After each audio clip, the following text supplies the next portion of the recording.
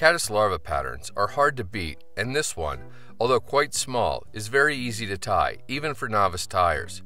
It's a great way for those new to tying and fishing small flies to get into the game. Here, I'm going to tie a micro caddis larva on a size 22 Dai-Riki number 135 scud emerger hook. Plunger style hackle pliers make handling these hooks much easier than fingertips alone. Start by carefully mashing the barb. Barbed hooks this small can be exceedingly difficult to remove from a fish's jaw. I like these flies to be neutrally buoyant, so use a mid-sized black glass bead as opposed to one made of brass or tungsten. Just drag the hook through the beads and you'll eventually snag one. Get the hook and bead assembly firmly secured in the jaws of your tying vise with the bead pushed all the way forward. For thread, I'm going to use black Veevus 16 aught in order to keep bulk to a minimum. Get your thread started behind the bead and take a few wraps rearward before snipping or breaking off the tag.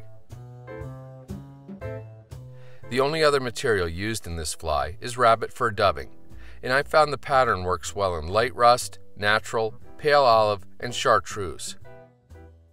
I'm not sure the color is all that critical, but I do like to carry a selection as the naturals seem to vary quite widely.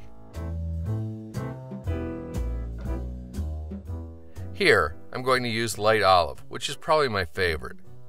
The smallest of pinches is all you need. The hardest part about tying this fly is keeping the dubbing noodle as thin as possible. You really want to do little more than color the tying thread.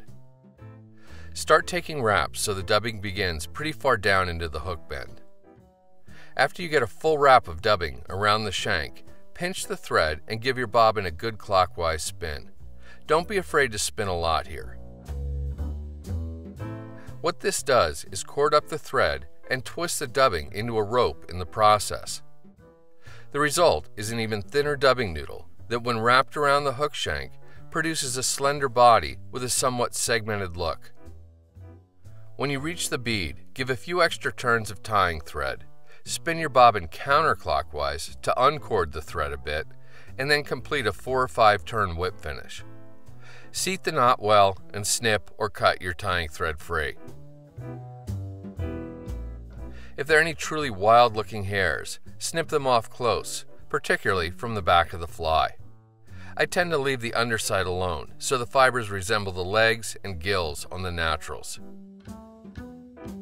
And that's the microcaddis larva. Small, super effective, and still easy to tie.